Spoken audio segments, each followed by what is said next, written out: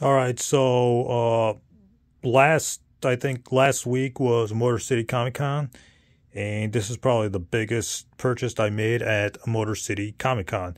The Amazing Spider-Man Annual Number One, first appearance of, yep, you guessed it, the Sinister Six.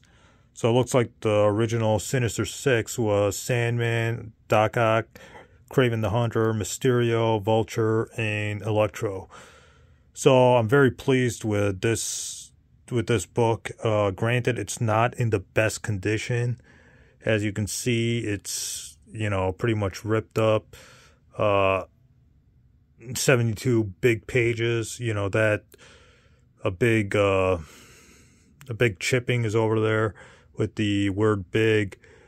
Uh, it's in pretty you know crumbled state as you can see you know, it's pretty ripped up over, and it, overall, this is not in good condition. This is what you would call poor condition, but you would be amazed at what I got this for. You want to take a guess of how much I got this for? I got this for $12. Yep, $12.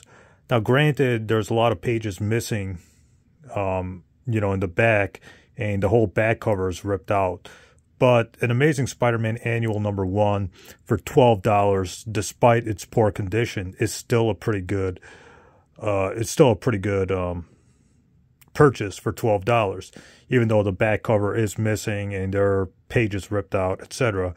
But I do like the fact that the cover is mostly intact, and I can say that I have an Amazing Spider-Man annual number one, first appearance of to Sinister Six. So this is definitely going in the personal the personal collection. I don't think I can sell this because I'll never get a chance to get this again for you know an amazing price of twelve dollars. So this is like the best twelve dollars I ever spent. So let me know in the comments below what do you guys think of this comic book pickup.